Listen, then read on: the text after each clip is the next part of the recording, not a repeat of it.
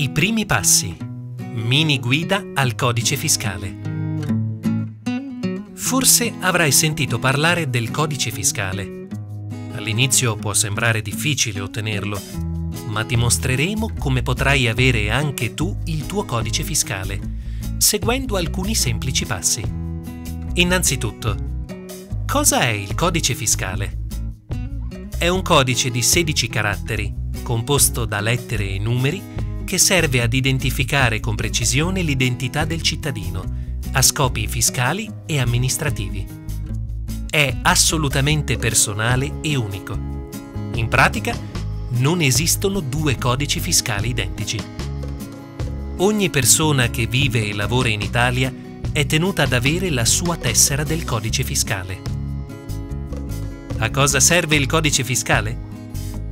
Il codice fiscale serve in molti casi per l'assistenza sanitaria, per aprire un conto in banca, per incassare un pagamento, per ricevere i rimborsi delle tasse, per affittare o acquistare una casa. Sono solo alcuni esempi.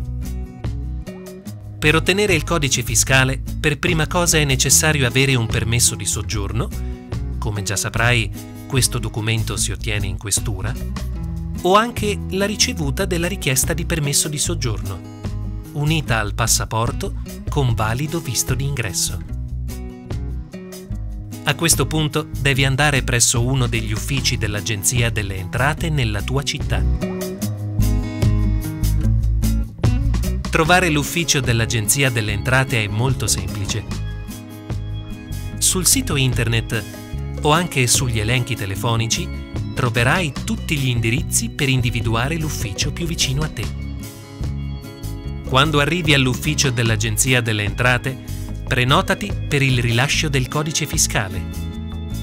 Ritira e compila il modulo.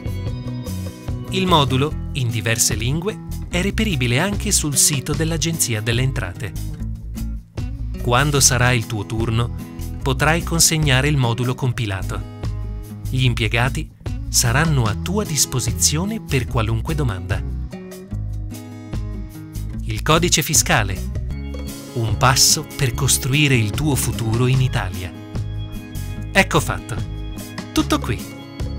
Presto riceverai a casa la tua tessera personale con il tuo numero di codice fiscale. Semplice, vero?